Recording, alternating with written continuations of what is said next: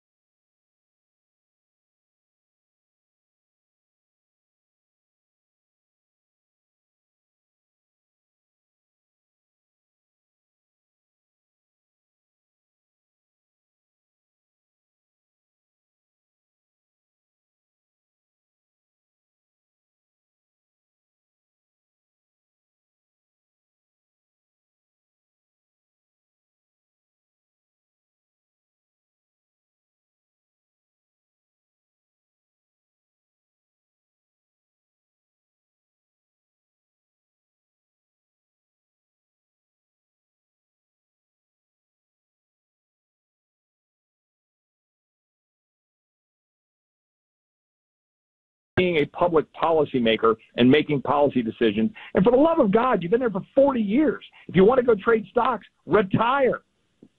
No question. And nobody's talking about seizing their assets. They're just saying that while you serve, this is what you're talking about, while you serve as a lawmaker, that you shouldn't have uh, some sort of detailed interest in the companies that uh, stand to benefit from access to you. So it's like, you know, Nancy Pelosi just her husband just uh, bought millions of dollars in call options for Google that are that have a strike date of September of this year.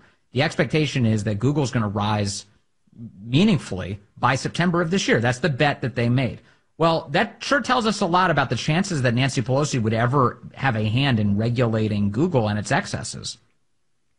And that's a that's a really good point, and it's a point that I've been trying to make to my colleagues to understand. Look, again, I'm not. In fact, if people want to set like a threshold, like below a certain amount of of investments for people who come in and and they want to maintain, they can't afford a blind trust advisor. I mean, I get that. These are things we ought to think through.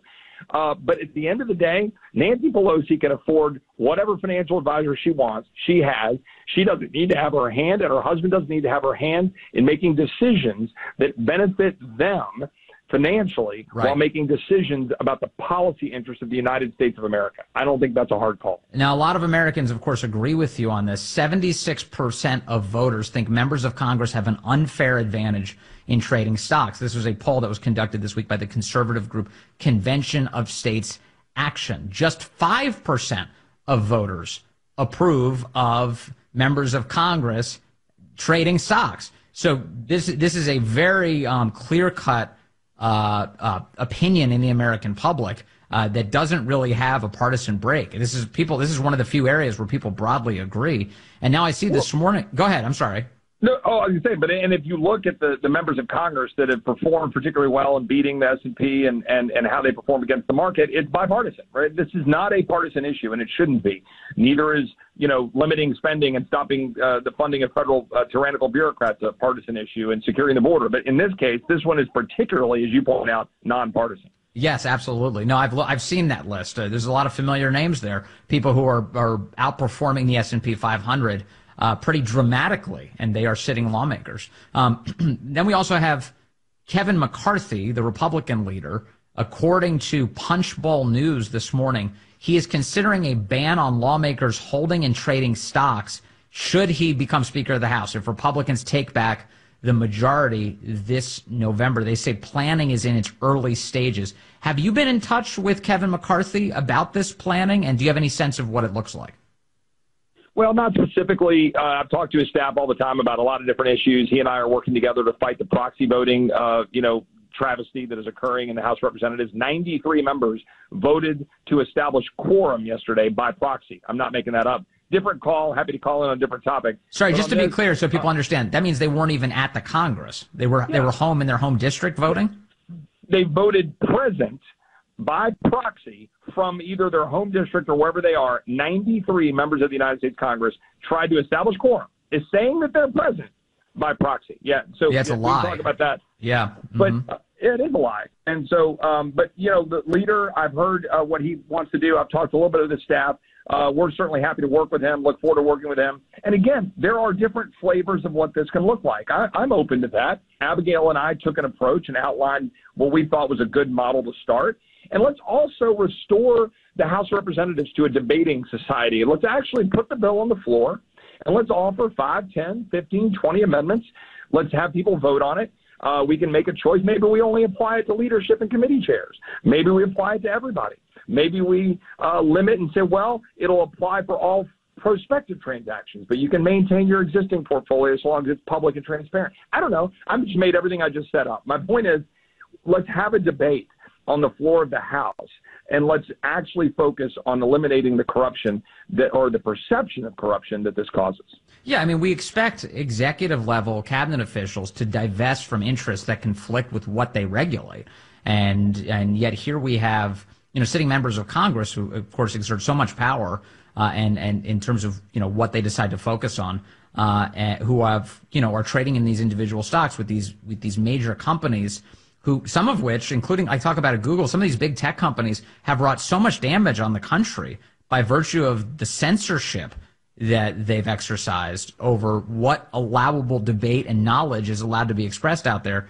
You know, the chances of, of Congress ever getting its arms around that problem really go down if everyone has a little piece of Google in their portfolio. In fact, one of the concerns I have Chip Roy, as much as I, I, appreciate your effort to get at this, is even if you had members of Congress have their investments in a blind trust, which you know they'll have some somebody invest in some mutual fund or something. I mean, think about the, the dominance of tech stocks in our market. Even then, if I had a blind trust, I would kind of assume that my portfolio was heavily weighted towards so many of these big tech companies, don't you think?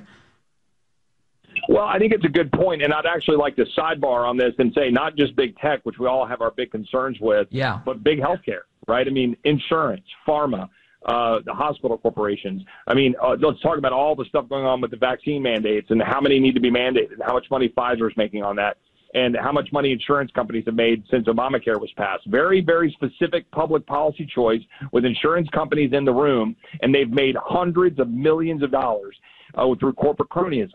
Oh. That's a perfect example. And to your point, yeah, that's still a concern. That's and we put index, you know, funds in there as well. Of course, we all benefit and the market goes up. I put that in the pot of things to say, yeah, but we all benefit when the overall economy is strong and the overall performance is going up. But as long as you're blind and you're not trading on specific stocks, I think you're in a good position. And if it's, as long as someone else is making those choices, we're all for a strong economy where companies are making profits and making money. We just want to avoid that corporate cronyism angles.